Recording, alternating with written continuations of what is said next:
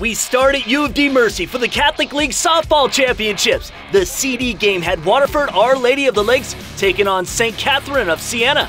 Coming in at 17 and 1 Lakes, trying to win their first Catholic League crown in six years. On the bump for the Lakers, the freshman, Hannah Davies, gets the K on Jenna Skalski. Davies had nine strikeouts in her first three innings of work. St. Catherine just in their third year as a varsity program, already looking for their first ever Catholic League title. The senior Carrie Prouse pitching for the Stars. She gets Taylor Pyatt down swinging. We were scoreless after five. But that would change top six. Runner on third for St. Catherine. The sophomore Caroline Hewer laying down the perfect suicide squeeze. Emily Riley is in. Stars take a 1 0 lead.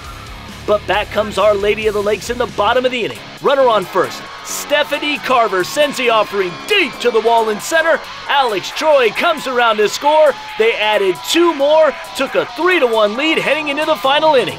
Davies would shut the door, only allowing two hits all game. Here, getting Sarah Choate to go down swinging her 16th strikeout on the game. Waterford, Our Lady of the Lakes, wins their first Catholic League CD title since 2005. 3 to 1, the final.